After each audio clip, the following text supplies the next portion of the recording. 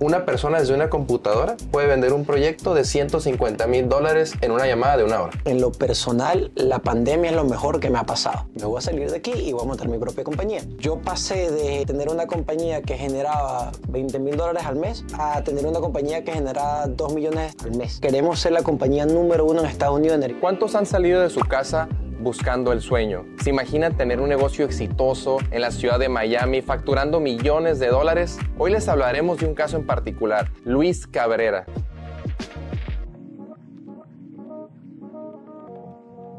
Estamos el día de hoy desde la ciudad de Miami, Florida. Hoy vamos a entrevistar a una personalidad, una persona que decidió emprender y crecer en el mundo de las ventas. Estamos hoy con Luis Cabrera. ¿Qué tal, Luis? ¿Cómo estás, hermano? Excelente, brother. Muchísimas gracias por la invitación. Claro, no, mira, aquí nos gusta entrevistar a gente, gente pilas, a gente poderosa, a gente inteligente como tú. Gracias, gracias. Tienes talento en esto, no eres bueno en la cámara. No, mira. Se te nota la energía. Mira, es que aquí nos dedicamos a hacer buen contenido. Súper.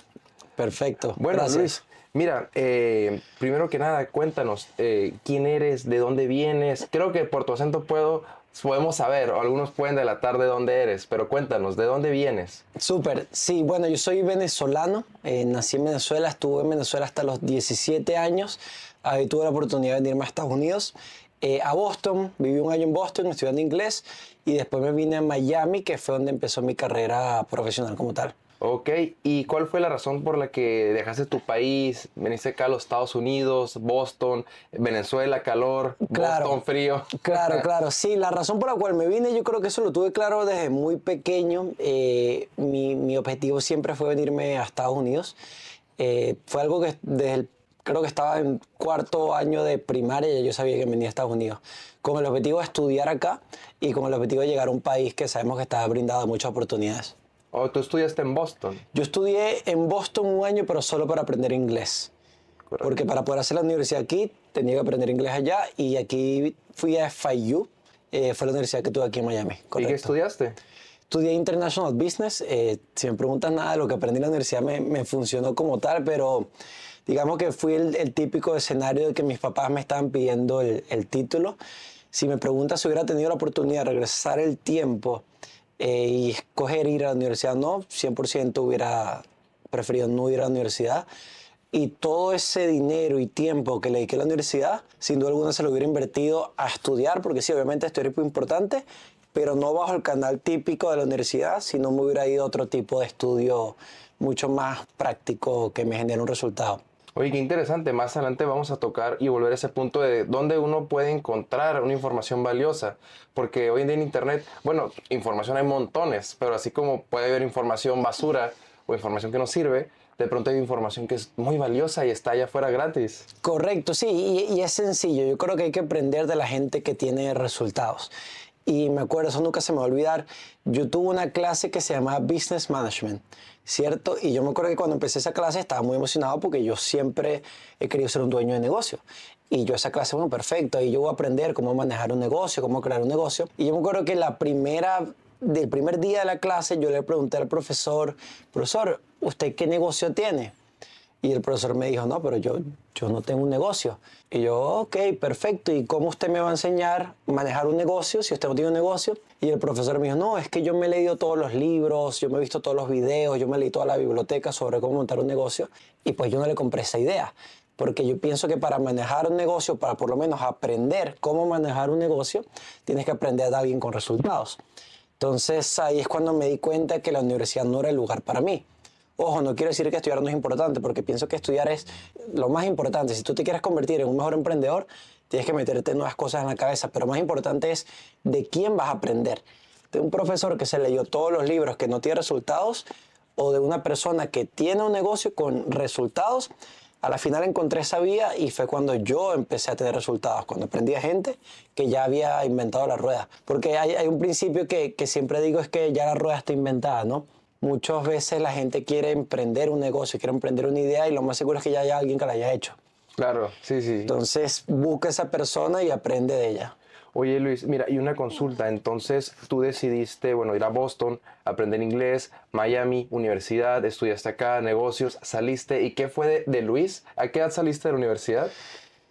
Buena pregunta. Yo, yo me tardé un poco más lo debido porque reparé varias materias. Incluso yo tengo un, un cuento muy gracioso. A mí me votaron de la universidad. Wow. Sí, en, en la universidad donde estaba tú necesitabas un GPA, creo que era más de 2.0 o algo así, para poder mantenerte en la universidad.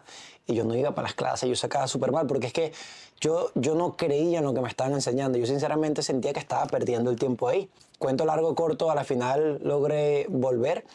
Pero yo me gradué, creo que fueron como a los 24 años, 25 si no me equivoco.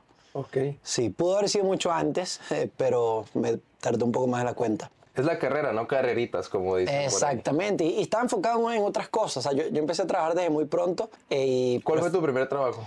Mi primer trabajo fue DJ. De DJ, wow. De DJ, sí. Yo empecé de DJ, Ac- Acá en Miami. no, en Boston. En Boston. Yo me acuerdo que yo era el DJ de los dormitorios de la universidad De en los Boston. dorms, todo eso. Sí, y, y curioso, ¿no? Porque yo, yo le agradezco mucho a mi carrera de DJ, porque a mí DJ fue lo que me enseñó a cómo vender. Porque cuando tú eres un DJ, tú tienes que ser bueno en dos cosas. Número uno, te tienes que vender a ti mismo. Si tú vas a ir a un nightclub, tú le tienes que tocar la puerta y tienes que decirle por qué yo debería tocar en ese nightclub. Te estás vendiendo a ti mismo. Y número dos, un buen DJ tiene que conocer mucha gente, tiene que tener contactos, tiene que hacer networking. Y como DJ estás en entornos que hay mucha gente. Entonces yo pienso que, que esa carrera de DJ a mí fue como una, una catapulta que me ayudó a llegar a otras cosas más grandes después, pero sí, DJ fue mi primer trabajo. Cool, excelente. O sea, eh, estudiaste inglés en Boston, fue tu tra- primer trabajo DJ, llegaste a Miami, continuaste con tu carrera de DJ aquí en Miami. Sí, muchísimo. Yo, yo fui DJ hasta el COVID, que ya no pude seguir siendo DJ porque, bueno, ya nos cerraron todas las discotecas. Pero yo fui DJ mucho tiempo, mucho tiempo. Excelente carrera, me fue súper bien. House music o techno o... Buena pregunta. Lo preferido, lo que más me gustaba a mí era el house music. Sin embargo, aquí en Miami tienes que estar abierto a tocar open format, que digamos que es todos los géneros. Ok, que, que con pop, reggaetón. Un poco de un todo, poco sí, de sí, todo. sí. Latino, pop, reggaetón, house. Excelente, mira, eh, bueno, para el, el público que nos escucha, Luis Cabrera es el COO de una empresa de rápido crecimiento online en ventas en los Estados Unidos. Lo que yo quiero llegar a hilar contigo, Luis, en esta conversación es cómo tú pasaste de, de un muchachito que viene de un país extranjero, un latino, eh, a estar acá en Miami con una compañía. Cuéntame un poco de, de esa trascendencia de cómo tú terminaste la escuela, continuaste 100% de DJ, tuviste algún otro empleo. ¿Qué sucedió de Luis que terminó la escuela, se hizo DJ, llegó la pandemia? O sea, quiero entender un poquito más tu secuencia. Perfecto, y claro que sí. Yo me vine aquí a los Estados Unidos, estudié inglés y me mudé a Miami. Mi primer trabajo en Miami fue como DJ. Y yo me recuerdo este momento, eh, ya yo estaba a punto de, de graduarme de la universidad y en ese caso mi mamá me decía, mira Luis, ya te gradúes en un año, creo que es momento que empieces a aplicar para trabajo, que empiezas para aplicar para compañías. Y a mí el hecho de yo aplicar para una compañía o yo trabajar para una compañía es algo que nunca, nunca cabía en mi cabeza. O sea, creo que hay, hay muchas personas que cuando se están graduando de la universidad o están cerca de que llegue ese momento, le- les entra como un nerviosismo, ¿no? Como Sí. que, wow, ¿a qué me voy a dedicar? ¿Qué voy a hacer? Eh, no sé qué voy a hacer con mi vida. De cierta forma, yo desde muy pequeño siempre tuve una seguridad muy, muy, muy, muy interna y muy fuerte de que a mí me iba a ir muy bien y que yo iba a estar para cosas grandes que yo iba a ser un emprendedor y que yo iba a tener mi propia compañía. No sabía cómo lo iba a hacer, no sabía de qué iba a tratar la compañía, pero yo simplemente tenía una seguridad en mí muy, muy grande. Entonces yo no estaba nervioso de graduarme y de no aplicar para ninguna universidad porque simplemente yo sabía que iba, iba a entrar en lo grande.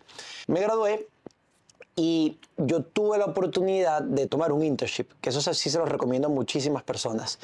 Tomen la mayor cantidad de internships posible, porque cuando tú eres un internship, tú tienes la oportunidad de trabajar en una compañía y ganar experiencia. ¿Qué es un internship? Un internship en, en español es una pasantía. Ok. Si, si no me equivoco. Un Prácticamente una- becario, un, un- Sí, una pasantía es una compañía, te da la oportunidad de trabajar para ellos. A veces no te pagan, a veces te pagan. A mí al principio no me pagaban, pero la paga que yo estaba buscando era experiencia. Porque volvemos al tema de la universidad. La universidad te enseña teoría, pero no experiencia. Y la experiencia es la herramienta que te va a ayudar a generar un resultado. Entonces, yo quería probar y, y, como te comenté, yo sabía que a mí me gustaban las ventas y el marketing. Estás 100% seguro de eso. Lo supiste. Desde siempre yo, yo siempre fui muy buen vendedor.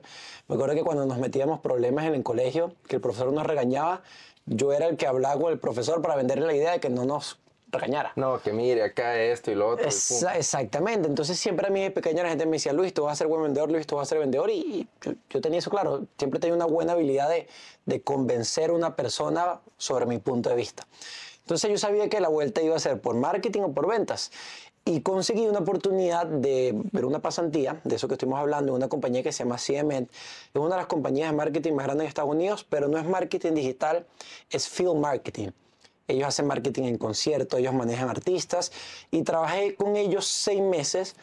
Y en esos seis meses gané mucha, mucha experiencia. Y ahí fue cuando me di cuenta de que, wow, yo estoy aprendiendo cómo están manejando esta compañía, yo estoy aprendiendo cómo manejan los clientes, me voy a salir de aquí y voy a montar mi propia compañía. Y me salí de esa compañía ya cuando sentí que tenía la experiencia suficiente para yo atreverme a montar mi primer emprendimiento, que en ese momento, eh, me acuerdo, la compañía se llamaba Tropical Team. La compañía que iniciaste después de trabajar. Exactamente, fue mi primer emprendimiento. Éramos una agencia de marketing digital un servicio bien sencillo que le llamamos las redes sociales a, otras compañías. Ok, bien. Sí. Una consulta. ¿Qué es el field marketing?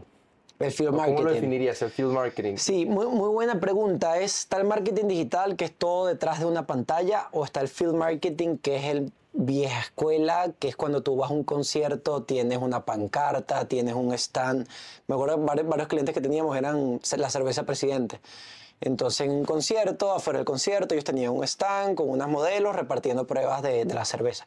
Cosas así era el marketing vieja escuela. No tenía nada que ver digital, pero era una compañía que tenía clientes muy, muy grandes con budget súper, súper grandes. Entonces ahí aprendí bastante sobre qué es marketing y cómo hacer marketing. Ok, ok, muy interesante. Bueno, eh, fundaste esta compañía después de haber tenido tu internship, ¿correcto? Y esa, esa compañía fracasó, tuvo éxito, tuviste ventas. Claro, claro, muy buena pregunta. Esa compañía, podemos decir que no fracasó, pero tampoco fue exitosa. Era una compañía que, digamos, como decimos en Venezuela, estaba a tabla. Entre lo que recibíamos y pagar todos los costos, prácticamente quedamos tablas, pero a mí me generó muchísima experiencia y simplemente me di cuenta que ese no era un buen modelo de negocio, porque te estoy diciendo que eso fue hace muchos años. Y yo pienso que a veces no se trata de solo emprender, sino saber en, qué emprender, porque hay muchos modelos de negocio. Y en ese momento yo no sabía qué era ROI, yo no sabía qué era márgenes, yo no sabía qué era costos. Yo simplemente cobraba y pagaba y al fin de cabo lo que quedaba era absolutamente nada. Entonces me di cuenta que era un modelo de negocio que a lo mejor no, no era rentable, que no era escalable. Y ahí en ese momento fue cuando empecé a encontrar mentores. Ese fue el momento que empecé a estudiar más de personas que tenían buenos resultados de cómo ser escalable, porque yo tenía sueños muy grandes, yo quiero ser billonario y voy a ser billonario, y yo para poder llegar a ese punto yo tenía que acercarme a personas que estuvieran por lo menos cinco pasos más que yo. Y me empecé a juntar con gente y empecé a encontrar otras industrias, empecé a encontrar otras formas de hacer dinero y ahí el negocio fue evolucionando. Que también me acuerdo de este momento, un emprendedor cuando, crece un, cuando crea un negocio es como tu bebé. Claro. Y muchas veces te apegas a ese negocio y no quieres cambiar ese negocio, no quieres cambiarle el nombre, no quieres cambiarle la modalidad. No le, no le muevan nada. No le quieres mover nada porque es tu bebé y tú le tienes esperanza a, ese, negocio y ahí se queda el bebé. Pero es cuando aprendí que un negocio empieza de una manera y termina de otra manera. Es importante que los negocios evolucionen. O se desarrolla de otra manera que no es con la que iniciaste, como la iniciaste. Exactamente. Y mira, y, ahí tengo una consulta, es un punto muy interesante porque muchos emprendedores, a veces jóvenes, a veces no tan jóvenes, que inician negocios, a, través de uno, dos, tres años, se quedan en el limbo, o nos quedamos en el limbo. Ok, inicié mi negocio, contraté mis primeros empleados, tengo los primeros clientes, tengo las primeras ventas, wow, tal vez me compré un auto en mi negocio, pero estoy tablas, no estoy creciendo y tú dices una transición muy interesante y te escuché decir, me di cuenta que mi negocio estaba estancado, entonces empecé a buscar gente que ya tuviera los resultados. ¿qué otra recomendación tú le dieras a todos aquellos emprendedores que en este momento se encuentran en el limbo, que dicen, coño, yo no sé ya qué hacer con mi negocio, no estoy creciendo las ventas, la, la gente de mis empleados me están preguntando qué se iba a pasar, yo ni siquiera sé qué va a pasar? ¿Qué consejo le darías a todos esos emprendedores que están en ese punto que claro. tú estuviste? Muy, muy buena pregunta. ¿Cómo yo lo veo? Vamos a poner esta, esta metáfora. Mete que hay dos pescadores y los dos pescadores trabajan 12 horas al día, pero un pescador está en el lago A y el otro pescador está en el lago B. Los dos trabajan las mismas 12 horas, pero el pescador A está en un lago que está lleno de peces, que está lleno de oportunidades, está en un lago que hay peces gordos, que hay peces grandes. Obviamente trabajando 12 horas al día en un lago lleno de peces gordos, te va a ir súper bien. Pero por el otro lado está el otro pescador que está también en un lago, pero hay peces pequeños o no hay casi peces y está trabajando también las 12 horas al día. Entonces esa metáfora a mí me hizo dar cuenta que a veces no es qué tanto te esfuerzas, sino en qué proyecto te estás esforzando. Y ser consciente y dejar un lego a un lado y entender que a veces no estás en el lugar correcto y que puedes evolucionar e irte a otro modelo de negocio que va a ser mucho más rentable, donde le puedes dedicar la misma cantidad de tiempo y las ganancias y las oportunidades van a ser mucho mejor. Eso fue lo que me pasó a mí. Yo estaba vendiendo servicios de marketing digital y me di cuenta que había otro lago, que había otro modelo de negocio, relación también a marketing digital, que la rentabilidad y la escalabilidad era mucho mayor. Entonces, ¿por, qué no cambiar? Que, hay, que hay un principio que siempre tengo muy marcado en mi mente. Si quieres resultados distintos, tienes que hacer cosas distintas. Y yo, yo no estaba teniendo buenos resultados, entonces yo, te, yo tenía que cambiar la forma en que operaba, la forma en que pensaba, el entorno con el que me rodeaba y entre fue cambiando las cuestiones, los resultados fueron cambiando también. Wow, qué experiencia, porque es muy cierto que muchas veces uno dice, me voy a esforzar más, voy a construir más procesos, voy a diseñar mejor mi empresa, pero realmente si no estás en la industria correcta, con la gente correcta, en el tiempo correcto, no vas a obtener esos resultados. Y es tu chamba como vendedor, como emprendedor, y es nuestro trabajo como emprendedores identificar en qué punto estamos y ser objetivos sobre todo. Exactamente, y, y no, no se apeguen a los proyectos. O sea, nosotros seres humanos tenemos que aprender a soltar tanto personas como proyectos. Y yo me acuerdo, mi primera compañía a mí al principio me costó soltarla, o sea, a mí me costó aceptar de que eso no funcionaba. Pero lo que le invito a todos los emprendedores allá afuera es que no se apeguen a un proyecto que no está funcionando. Pasa la página y crea algo El primer nuevo. paso es aceptarlo, como dicen por ahí. Exactamente, exactamente. Correcto, correcto. Y bueno, eh, después de ese, de ese emprendimiento, ¿qué siguió para Luis Cabrera? ¿Qué sucedió? Excelente, muy buena pregunta. Ok, después de ese emprendimiento llegó COVID, ¡pum! Y se nos cerraron todas las puertas porque todo- DJ, emprendimiento. absolutamente todo. A mí nunca se me pum. olvidará ese día donde salen las noticias, llegó COVID, catástrofe mundial, todo se acabó. Y obviamente mu- mucha ansiedad, mucha incertidumbre, mucha preocupación, porque yo dependía de dos cosas, de DJ. Que si hay una pandemia, todas las discotecas van a cerrar. Y número dos, nuestra compañía, la mayoría de los clientes que teníamos eran restaurantes, gimnasios, tiendas de ropa. ¿Qué El mero COVID? sector afectado. Exactamente, de un día para otro nos quedamos sin ningún solo cliente y me quedé sin shows para ser DJ. ¿Qué voy a hacer? Ahora, ¿qué voy a hacer? Que hoy en día, sinceramente, siento que en, en lo personal la pandemia es lo mejor que me ha pasado.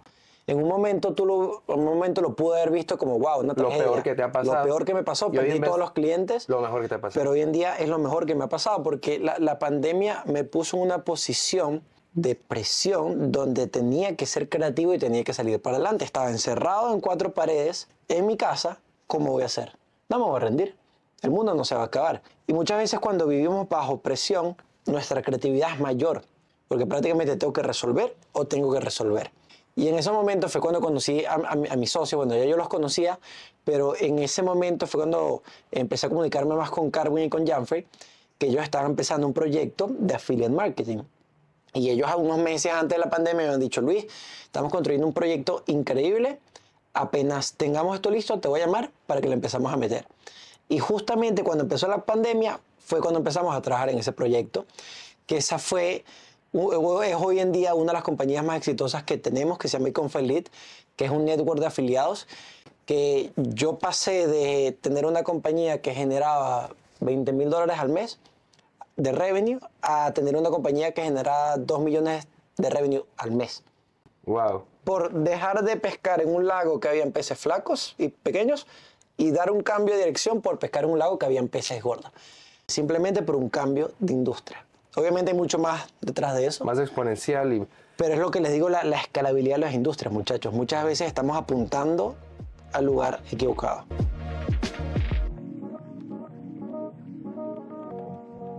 ¿Qué es el affiliate marketing, Luis? El affiliate marketing es, alguno de los que nos está escuchando tiene un seguro de carro gracias a una publicidad que nosotros hicimos. Solar es la mejor industria, en mi opinión, que un emprendedor puede trabajar. Tú lo ayudas a ahorrar un porcentaje en ese bill eléctrico e independizarse de los monopolios de la compañía eléctrica y que ahora sus casas son autosustentables. ¿Cómo se llama esta compañía tuya que hace esto posible? Nosotros en los 3, 4, 5 años que tenemos experiencia en marketing digital, creo que hemos gastado más de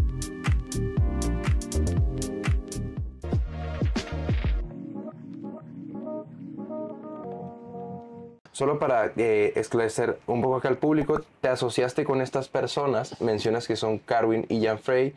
Ustedes iniciaron una compañía dentro de la industria del affiliate marketing. Correcto. ¿Qué es el affiliate marketing, Luis? Correcto, muy buena pregunta. El affiliate marketing es una industria que le provee leads y clientes potenciales a diferentes compañías. Y nosotros tenemos un, un network de afiliados. Un network afiliado es un punto que conecta a media buyers, que es un media buyer, son personas capaces de hacer marketing digital, capaces de generar clientes potenciales o capaces de generar ventas online. Conectamos a estas personas con advertisers, que son advertisers multinacionales súper grandes como Geico, Progressive, compañías de mortgage, Medicare, que son compañías que necesitan miles y miles de clientes al día. Imagínate cuántos clientes necesita Progressive es una multinacional gigante. Bueno, la industria del affiliate marketing conecta los que crean los clientes con los que necesitan los clientes. Y nosotros tenemos un network que provee miles de clientes al día a todas estas multinacionales. O sea, se puede decir que esta compañía que tú tienes alimenta a miles y miles de clientes todos los días en tiempo real. E incluso muy probable que alguno de los que nos está escuchando tiene un seguro de carro gracias a una publicidad que nosotros hicimos. Así de masivo es, es una publicidad súper, súper, súper masiva impresionante. Esto lo hacen por medio de anuncios pagos, ¿correcto? Eso es correcto. ¿En qué plataformas anuncia eh, publicidad de esta compañía? Sí, sí. Eh, tenemos diferentes verticales y diferentes formas de hacer publicidad, pero las más fuertes son Facebook, Instagram y TikTok. Estoy seguro que todos saben que es un ad, ¿cierto? Tú estás viendo tu stories y te aparece un ad. Nosotros hacemos esos ads donde primero hay un proceso creativo de contenido con el objetivo de captar la atención de la persona que está viendo la publicidad y tomar una acción. Al tomar esa acción, ellos van a llenar un formulario donde a decir básicamente, mira, yo estoy interesado en bajar mi seguro de carro porque quiero un seguro de carro nuevo. Y eso se convierte en un lead, eso se convierte en un prospecto. Ese prospecto yo se lo vendo en este caso a Progressive o a Geico o a esas compañías. Y nosotros generamos miles y miles de prospectos al día a todas estas compañías. Impresionante. Y un detalle ahí, generar publicidad a ese volumen, quiero imaginar que genera costos a gran volumen, porque Facebook, Mark Zuckerberg no, no regala cosas. 100%. Facebook cobra dinero. 100%, que eso lo llamamos en este caso media buying, que el media buying yo lo llamo como el trading de la publicidad digital donde prácticamente es un juego, como dices tú, tiene costos que nosotros invertimos miles y miles, hasta creo que hay días de más de 100 mil dólares de inversión en publicidad para recolectar a esos clientes potenciales y vendérselos a estas compañías. Nosotros en los 3, 4, 5 años que tenemos experiencia en marketing digital, creo que hemos gastado más de 50 millones de dólares, cuídame que chiquito, en publicidad digital. Y esos 50 millones de dólares nos ha dado la experiencia que tenemos hoy en día para poder tener estos resultados. Impresionante. Bueno, mira, hablabas eh, que en esta compañía donde fue donde viste como que ese salto de, emprendedor medio allá un emprendedor tal vez de mayor nivel, facturando algunos millones. Y me comentabas, ustedes trabajaban con leads de la industria médica, de la industria financiera, trabajan con leads de mortgage, que son como las hipotecas. Eh, ¿Qué otra industria eh, venden o han vendido leads? Claro, wow, yo creo que lo que te puedas imaginar, médica, mortgage, auto insurance, solar, e-commerce. Solar, ok. Me llama la atención la, palabra solar, porque yo sé que tu nuevo emprendimiento y más reciente y exitoso emprendimiento es de la industria solar. Entonces, ahora mi pregunta es, eh, bueno, ¿cómo surtiendo leads para la industria solar es que decidiste iniciar una compañía que se dedicara a la industria solar? Claro. Te cuento, sin duda alguna estábamos conscientes y claros de que teníamos talento consiguiendo leads. Nuevamente, ¿qué es un lead? Es un prospecto, es una persona que está interesada en comprar un producto o servicio. Nosotros vendíamos esos leads y ahí nos dimos cuenta, wow, si tenemos el talento de conseguir clientes, ¿por qué no armamos una compañía donde adquiramos el cliente pero también hacemos la venta? ¿Cierto? Y ahí fue donde conseguimos la industria solar, el cual eh, soy fanático y trabajo con extremadamente pasión porque es una industria que es un ganar-ganar para todos. ¿Ok? Solar es el mejor producto que un dueño de casa hoy en día puede tener. Y solar es la mejor industria, en mi opinión, que un emprendedor puede trabajar. ¿Por qué? Porque absolutamente todas las personas de la ecuación salen ganando. En solar, número uno, el producto que tú le das al cliente, el cliente se súper beneficiado tú lo ayudas a ahorrar en su bill eléctrico. Nuestro mercado principal es California. Disculpa que te interrumpa. A ese lado. Solar, bueno, Solar surte a industrias como naves industriales, a centros comerciales, a casas. ¿En qué hueco o en qué parte de la industria solar es que tú operas? Claro, nosotros nos especializamos en dueños de casas, en residencial. En California. Exactamente. Hoy una estadística, en Estados Unidos hay más de 150 millones de casas no más de 5 millones tienen solar hoy en día. Imagínate el market cap, imagínate... 145 millones de clientes. Y todo lo que les falta solar, 145 millones de clientes. Por eso yo pienso que solar hoy en día es la oportunidad más grande que un emprendedor puede tener. Y como te iba comentando, es una industria donde todo el mundo sale ganando, es un producto que ayuda al cliente. Nuestro mercado principal es California. En California hay casas que pagan hasta 800 dólares al mes de luz. Cuando tú le pones los paneles solares, tú lo ayudas ahorrar un porcentaje en ese bill eléctrico y a independizarse de los monopolios de la compañía eléctrica y que ahora sus casas son autosustentables. Ellos pasaron de rentar energía a ser los creadores de su propia energía. Estamos ayudando al cliente y estamos ayudando a uno de los mayores problemas de nivel mundial, que es la economía.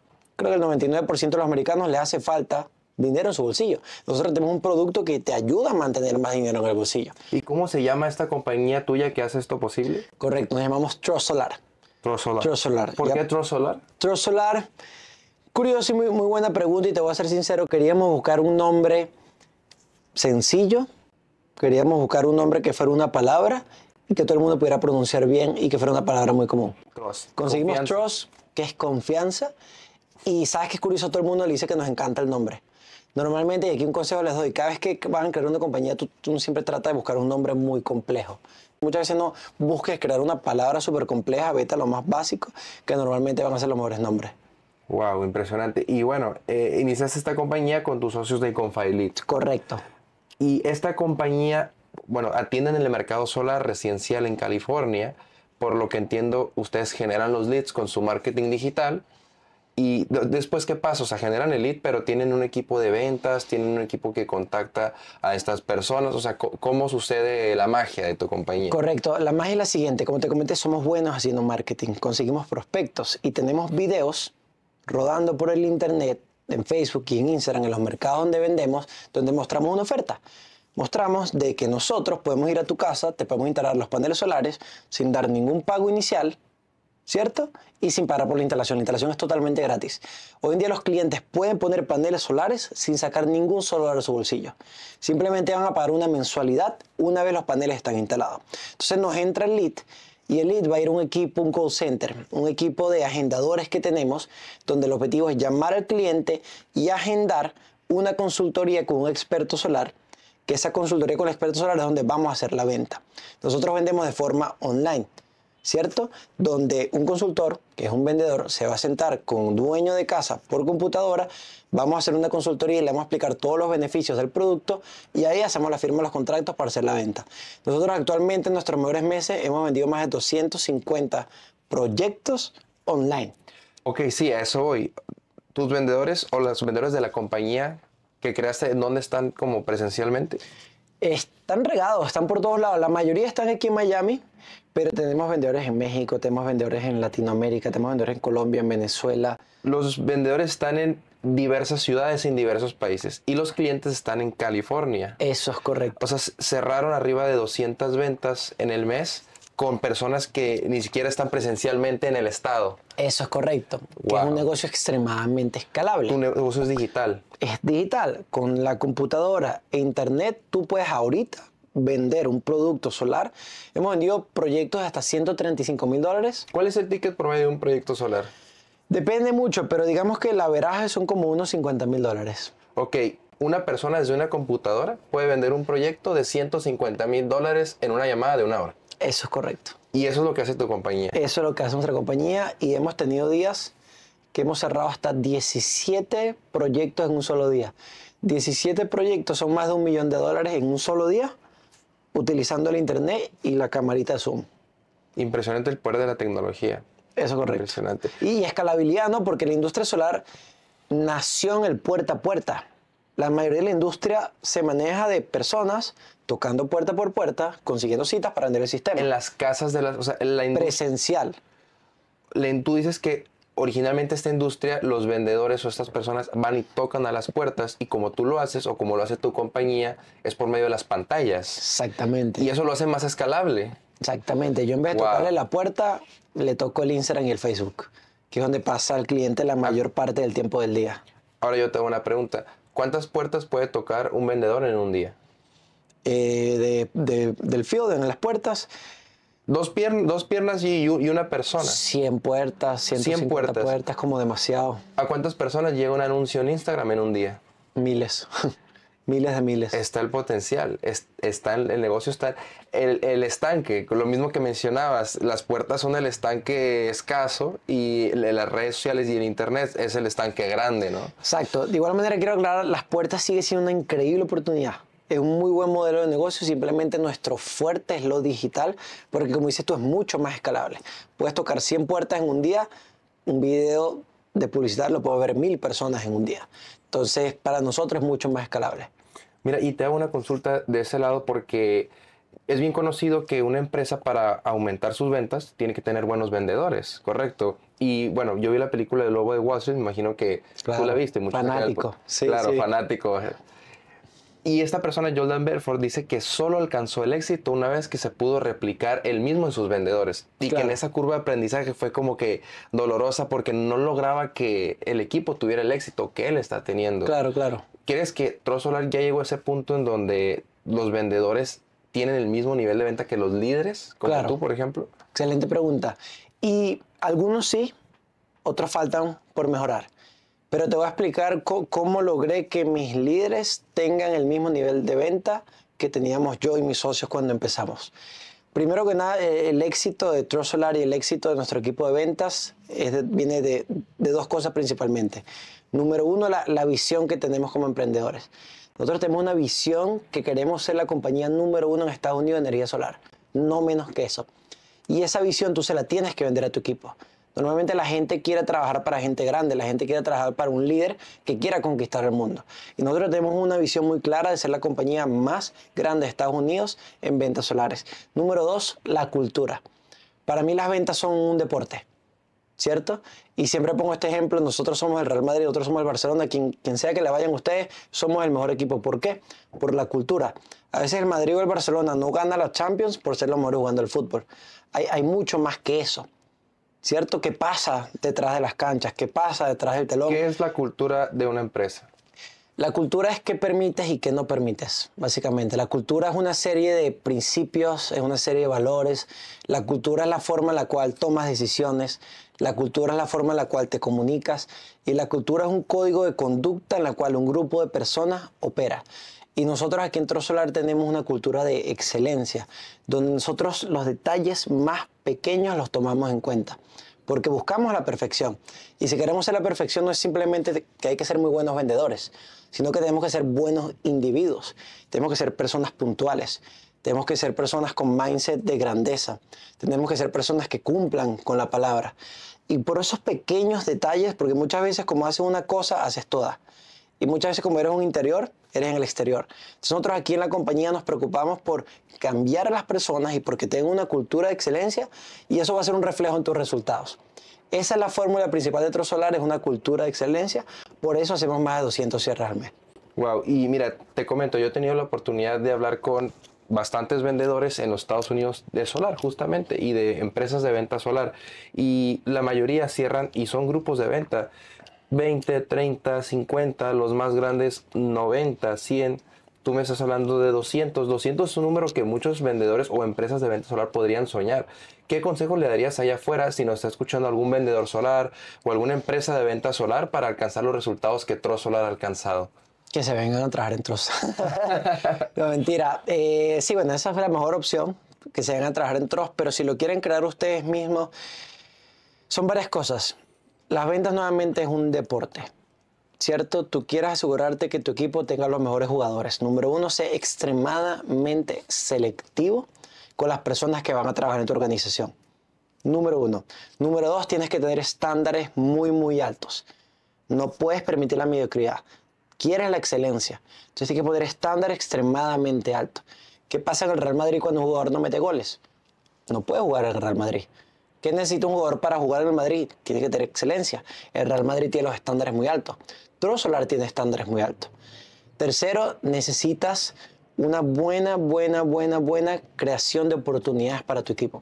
Tú puedes tener muy buenos vendedores, pero si esos vendedores no tienen oportunidades, no tienen leads, no vas a poder generar ese número de ventas. Entonces, en resumen, estándares, selectividad y un buen sistema de, prospectar clientes. Y una consulta, Luis, también, mira, eh, yo también estoy investigando de la industria solar y me he dado cuenta que hay muchísima competencia afuera, que hay mucho vendedor solar. ¿Cómo tienes a tus vendedores entrenados cuando un cliente le dice, mira, tengo otras cinco propuestas detrás de la tuya y todas son más baratas? Claro, claro. Yo soy fiel creyente que el precio nunca es el problema. Si un cliente te está diciendo que sale muy barato es porque no le diste suficiente valor. Y te soy sincero, yo prefiero el cliente que me llegue y me dice, mira, ya vi tres propuestas y tengo cuatro propuestas más después de la tuya. ¿Por qué? Porque yo entiendo que es un cliente que está extremadamente interesado en solar. Si ya viste tres propuestas y te faltan cuatro más después de la mía, ¿qué interés tiene en el producto? Demasiado. Entonces, si esa persona tiene interés en el producto, yo estoy seguro que si yo le doy el valor suficiente y yo lo hago entender que yo soy el mejor consultor que te va a dar a ti la experiencia de poner los paneles, él se va a venir conmigo. El precio nunca es el problema. Wow, súper súper importante cuando vendes y más productos high ticket, porque claro, 100 mil dólares, 40 mil dólares, 50 mil dólares que vale una instalación solar, se considera un producto de high ticket. Mira qué interesante, entonces tú tienes una empresa online de rápido crecimiento que vende productos high ticket. Interesante. Eso correcto. ¿Qué sigue para Solar? ¿Hacia dónde va la empresa? ¿Qué quieren lograr? ¿Qué sigue? Nuestro próximo gol es hacer mil cierres al mes mil cierres al mes. Queremos estar diversificados en la mayoría de los estados de Estados Unidos y nuestro proyecto a largo plazo, la visión, queremos crear un software de inteligencia artificial que sea una herramienta y una ayuda para la industria y los vendedores en la industria solar. ¿Qué te mantiene motivado, Luis? ¿Qué me mantiene motivado? Muy buena pregunta. Mi propósito, yo soy una persona que, que tiene un propósito muy claro y ese propósito es lo que me, me motiva a, mí. Eh, sinceramente yo pienso que, que la motivación es, es, una mierda, ¿no? Porque la motivación viene y va. A lo mejor hoy me levanté motivado, pero a lo mejor mañana no me levanté motivado. Pero más que si estoy motivado o no estoy motivado, es la disciplina que tengo que tener para lograr mi propósito. Y mi propósito es lo que me ayuda a ser disciplinado. Tengo varios propósitos, pero te voy a compartir los principales. Mi propósito es convertirme en la mejor versión de mí mismo. Yo soy fiel creyente que los seres humanos son superhéroes que olvidaron sus poderes. Y tenemos la capacidad de recuperar esos poderes. Entonces, ¿cuál es mi propósito? Convertirme en la mejor versión de mí mismo. ¿Por qué? Porque yo entiendo que si yo me convierto en la mejor versión de mí mismo, yo voy a ser capaz de impactar a muchas personas de forma positiva. Yo quiero crear un legado de éxito, yo quiero crear un legado de excelencia que utilizando la educación cambiemos el mundo. Yo pienso que la educación es la herramienta principal que puede hacer el mundo un lugar mejor. Yo soy de Venezuela, tú eres de México, la mayoría de los países latinos no están en las mejores condiciones posibles. ¿Por qué? Por falta de educación y por falta de cultura. Y yo soy fiel creyente que si me convierto en la mejor versión de mí mismo, yo voy a ser capaz de crear un legado de excelencia para ayudar a muchas personas. Por eso yo trabajo tan duro, porque yo quiero cambiar vidas, yo quiero cambiar países y yo quiero dejar un mejor legado. ¿Cuántos años tienes ahora, Luis? Tengo 29 años. 29 años. ¿Crees en la longevidad? En, o sea, ¿tú eres de esas personas que aspira a vivir 200 años o simplemente los años vividos? ¿Sabes que, que, yo no, no pienso en eso? Creo que nunca he pensado cuántos años voy a vivir. Yo sé que estoy aquí ahorita y voy a hacer lo mejor de mí aquí, ahorita y ahora, porque yo entiendo que lo único que puedo controlar es, es el presente, ¿cierto?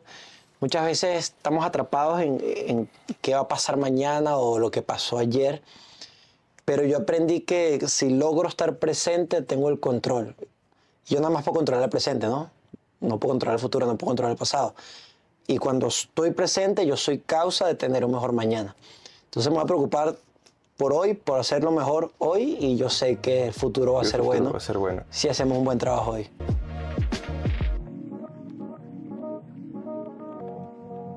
Un cliente no necesita tiempo para pensarlo, porque si tú lo descubres, tú lo puedes manejar. Si tú lo descubres, tú lo puedes controlar. Esas preguntas donde estás conociendo a tu cliente y de esa manera sabes cómo lo vas a manejar. ¿Por qué estás buscando paneles solares? Todo, todo, todo cierre se puede cerrar si haces las preguntas correctas. Un vendedor tiene que saber controlar sus emociones. ¿Cuál ha sido tu mayor fracaso?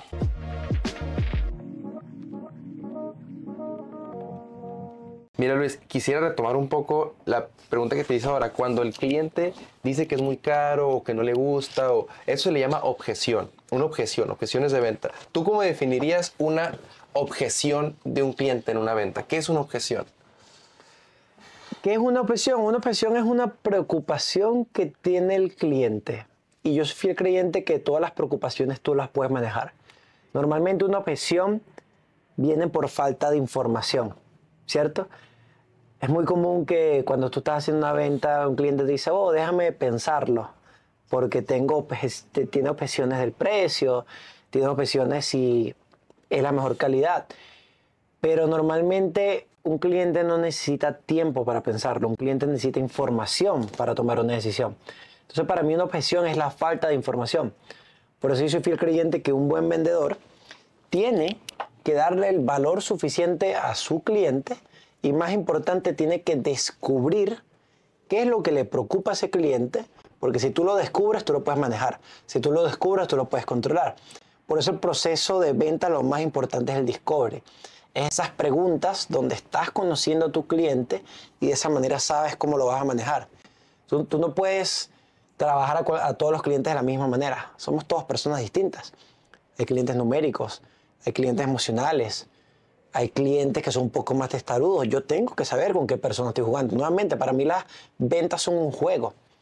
¿Qué juego voy a jugar? Tengo que hacer las preguntas para saber cómo voy a jugar ese juego. Y en una llamada de venta, ¿tú cómo definirías lo que es el famoso discovery en una llamada de ventas? Claro. El famoso discovery es, es conocerte. Ejemplo, si yo estoy vendiendo un panel, la primera pregunta que yo hago, que es súper poderosa, es, señor Mario, cuénteme algo, ¿por qué estás buscando paneles solares? Y si yo consigo las razones por la cual Mario está buscando poner paneles solares, si yo consigo esas razones y las utilizo de, de manera correcta, esas razones son lo que te motiva a ti a tomar una decisión. ¿Cierto? Entonces yo, yo tengo que saber qué es lo que te motiva a ti a tomar una decisión. Pero para tomar una decisión, tú vas a tener dudas, tú vas a tener creencias limitantes, tú vas a tener, uy, es que yo tuve un amigo que le fue muy mal con los paneles. Entonces yo también tengo que identificar tus preocupaciones, tengo que identificar lo que te motiva a tomar una decisión y si las manejo de forma correcta, yo puedo cerrar ese cierre. Yo soy fiel creyente que todo, todo, todo cierre se puede cerrar si haces las preguntas correctas. Claro, y de pronto hay capas, porque tú le preguntas a un cliente, oye, y bueno, si fuera solar, ¿qué te preocuparía? O sea, ¿o qué te limita a tomar tu decisión? Y te dice, el precio, pero realmente ni siquiera es el precio. O sea, realmente hay otra cosa y te está diciendo eso para darte la vuelta. Y uno como vendedor tiene como que cruzar esas capas para llegar a las verdaderas objeciones o a los verdaderos intereses del cliente para trabajar de ese lado. 100%. Incluso yo soy fiel creyente que la mejor forma de manejar una objeción es evitar que nazca esa objeción. ¿Cómo así? O sea, ¿cómo evitas una objeción antes de que nazca? Haciendo las preguntas correctas. Hay dos opciones que yo haga las preguntas correctas y yo identifique todo lo que te preocupa a ti y lo manejo a tiempo, porque la otra opción es que ya yo te estoy mostrando el precio, yo te estoy pidiendo el cierre, pero tú me dices, oye Luis, lo tengo que pensar porque estoy preocupado que los paneles vayan a crear goteras en mi techo, pero ya es demasiado tarde.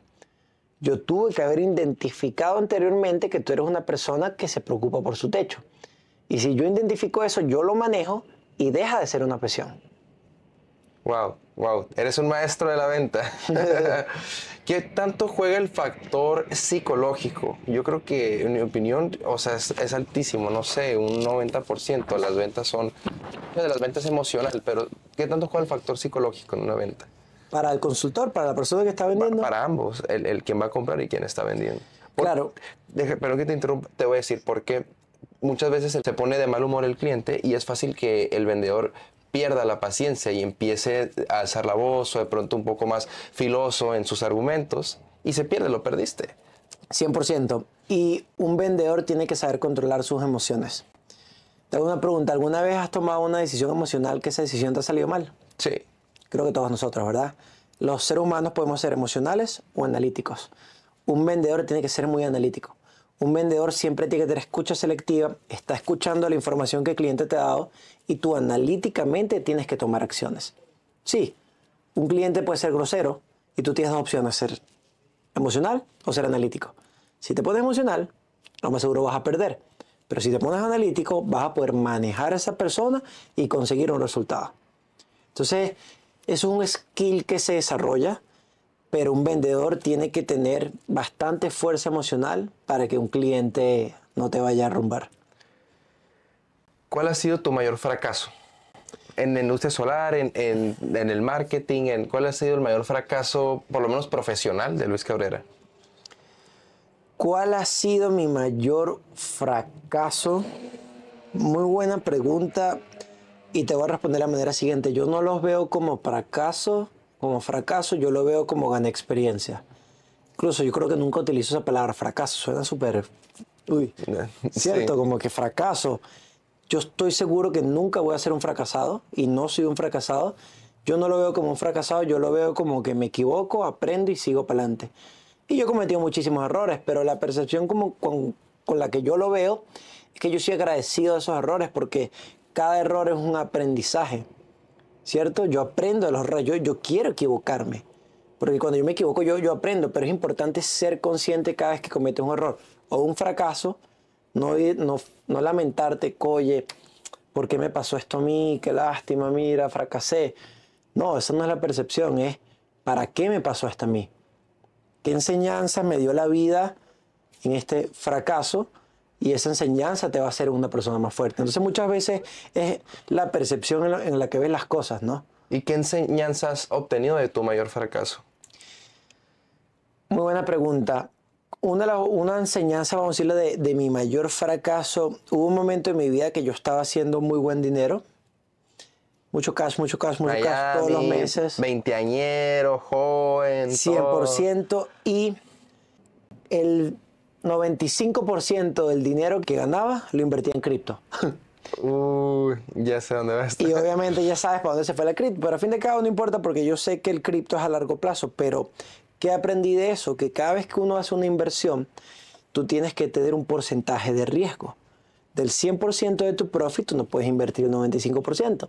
Tú tienes que tener un porcentaje que tú estés dispuesto a perder. Una inversión es como ir para el casino.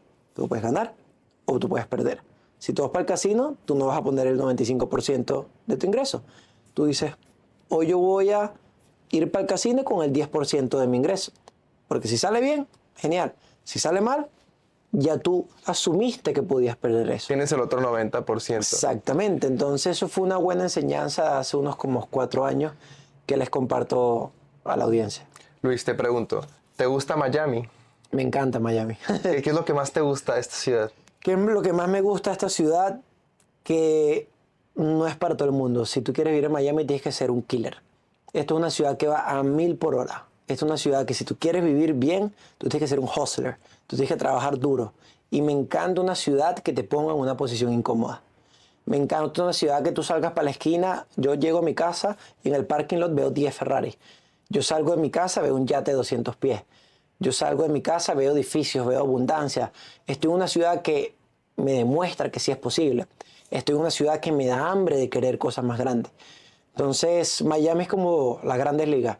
Si quieres jugar en las grandes ligas, tienes que jugar bien y rápido. Total, porque, bueno, de toda la vida para acá se conoce que Nueva York, Manhattan, que toda la gente que quiere, como que la ambición se va para allá, pero siento que del 2010 a hoy, en, este, estos últimos años, Miami ha crecido bastante y sobre todo la zona eh, nueva que es Brickell, tú puedes escribir como que es Miami Brickell para todos aquellos que saben de Manhattan, saben de todos esos lugares que es, pero Brickell, Miami, ¿cómo escribirías Miami Brickell? Brickell, imagínate la parte de Nueva York más cara, más exclusiva, pero mínima.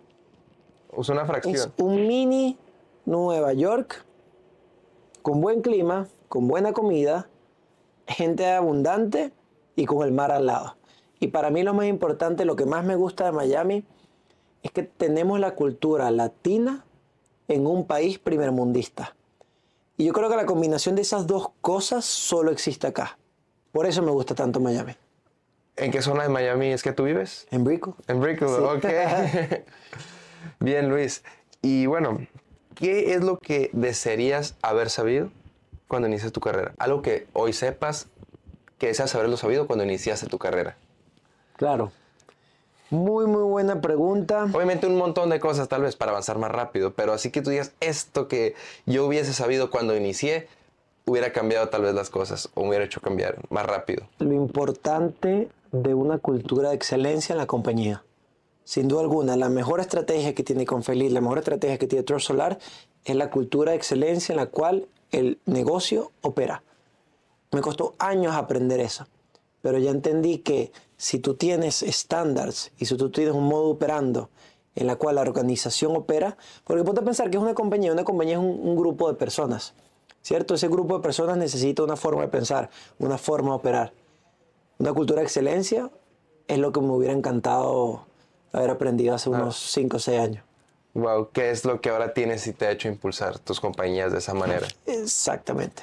Wow, y Luis, bueno, mira, ya para empezar a aterrizar la conversión, ¿cómo te sientes de un muchachito que, como te comentaba, viene de un país latino, emprendiendo, tienes dos compañías, estás en Miami, Miami eh, no es ninguna novedad que es una ciudad de élite hoy en día en el, desarrollo, en el urbanismo, en la economía, en las finanzas, en la cultura, en todo. O sea, ¿cómo, cómo te sientes de ser un empresario joven latino en una ciudad tan emergente como esta? Claro.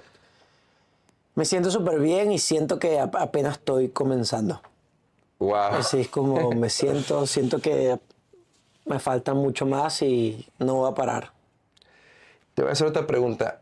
Mira, yo te conozco, yo sé, yo he venido aquí a la oficina a las 9 de la mañana y estás aquí, yo he venido a la 1 de la mañana y sigues acá. ¿Cómo balanceas tu vida personal y el trabajo? Claro. ¿Tienes vida personal? Sí, sí, muy, buena pregunta. Sorry, sorry. Sabes que la, la, gente siempre dice, necesitas un balance. Yo, yo pienso que a veces el balance es una mierda, por lo menos ahorita. Yo creo que para llegar a ser grande, o sea, todo depende del propósito de cada quien, ¿verdad? Yo quiero llegar extremadamente grande, yo quiero ser una persona billonaria, quiero ser una persona exitosa, yo quiero ser una persona que cree un legado. Para yo lograr ese objetivo, yo tengo que pagar un precio. Si yo soy una persona con un balance, ¿cuánto tiempo a mí me va a tomar pagar ese precio? Es como si tú tienes un loan en el banco, Tú lo puedes pagar en cuotas de 25 años o tú lo puedes pagar de un down payment de una vez. Yo quiero pagar ese precio ahorita porque yo sé que ahorita tengo energía, estoy joven, estoy saludable y yo ahorita si vivo una vida desbalanceada, voy a tener un futuro muy, muy balanceado. Entonces yo estoy dispuesto a pagar el precio ahorita. Obviamente hay que hacer sacrificios. No tienes momento con la familia a veces, no tienes momento con la novia, no tienes momento con los amigos. Pero, bro, yo, yo, yo soy muy feliz haciendo lo que hago. Para mí no es un trabajo, para mí es un estilo de vida. Hoy en día yo le puedo dar una buena oportunidad a mis papás, yo le puedo dar una oportunidad a mi familia, porque estoy pagando el precio. Entonces, estoy dispuesto a estar un poco desbalanceado por un futuro de mucha grandeza. ¿Qué consejo le darías a todos esos jóvenes que en este momento nos están escuchando, tal vez en Latinoamérica, tal vez aquí mismo en los Estados Unidos, pero todas esas personas que quieren emprender y salir a, cambiar el mundo con sus propias habilidades y sus aptitudes, ¿qué consejo les darías? Claro, que el momento perfecto nunca va a llegar. Empiecen. Cuando uno va a aprender, uno siempre está tratando de buscar que las condiciones y los planetas se alineen para empezar. Empieza, es un proceso. En ese proceso te vas a golpear, te vas a levantar tienes que tener mucha disciplina, tienes que tener persistencia y tienes que rodearte con personas que hayan tenido resultados. Con esa combinación de disciplina, persistencia, si nunca te rindes es imposible que pierdas y con un buen mentor que te esté diciendo por dónde tienes que apuntar, no, no vas a fallar. ¿Quiénes consideras que han sido tus mentores en tu proceso de emprendimiento? ¿Quiénes han Wow, muchísimos. Tengo muchos mentores. Mis socios son mentores, Carwin, Jan Frey, eh, Saint Jan, que es otro socio amigo, Tim Bort, muchísimos más. Tengo muchos, muchos mentores. Eh, ¿Quién es un mentor en los negocios? un mentor es una persona que te dice las cosas en la cara como son y que tuvo resultados en lo que tú estás haciendo y te da valor para que no cometas tantos errores como los que él cometió y te da enseñanzas y estrategias para que tu negocio sea más óptimo. ¿Tú le aconsejarías a la gente de afuera que se consiga un mentor? 100%. Y Varios de- mentores. Y de pronto si alguien te dice, mira, yo soy un muchachito en un pueblo, en una esquina, no sé dónde, yo soy una muchachita que estoy en, en una esquina también en un pueblo, no, no hay aquí.